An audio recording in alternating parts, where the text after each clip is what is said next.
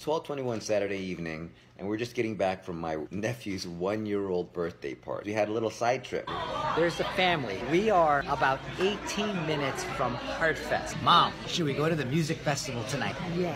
Madison got a ride with me, so I gotta find him a ride. Can you take Madison home? Nate can take him home. Now I gotta convince Debbie. Debbie, wanna go to Hardfest? Got two tickets. Do it. We ended up going to a festival to go see Alice in Wonderland. Not Alice in Wonderland, Alison Wonderland. She's a classically trained cellist, and she opens up all of her sets playing the cello, and then it takes a 180 degree turn to EDM dance music. Bye, everybody. Happy birthday. See you later. Leaving Shakey's. Is this general parking? Yeah. What's up? What do you need to see? Uh,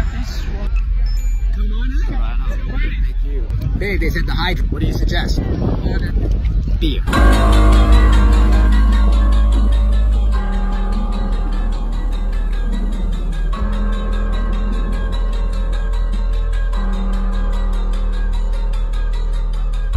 That's not a stage when you gotta go.